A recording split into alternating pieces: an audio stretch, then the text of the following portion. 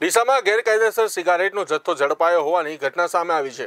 એસઓજીની ટીમે પંચાવન હજારનો ગેરકાયદેસર સિગારેટનો જથ્થો જપ્ત કરીને એક શખ્સની અટકાયત કરી છે. ડીસા શહેરમાં છેલ્લા ઘણા સમયથી પ્રતિબંધિત અને ગેરકાયદેસર ચીજ વસ્તુઓનું વેચાણ ખૂબ જ વધી ગયું છે. આ દરમિયાન સ્પેશિયલ ઓપરેશન ગ્રુપની ટીમે પેટ્રોલિંગમાં હતી. તે સમયે ફુવારા સર્કલ પાસે ગેરકાયદેસર સિગારેટનો જથ્થો મળી આવ્યો હોવાની માહિતી મળી હતી. જેથી એસઓજીની ટીમે જલારામ એન્ટરપ્રાઇઝમાં તપાસ હાથ ધરી હતી.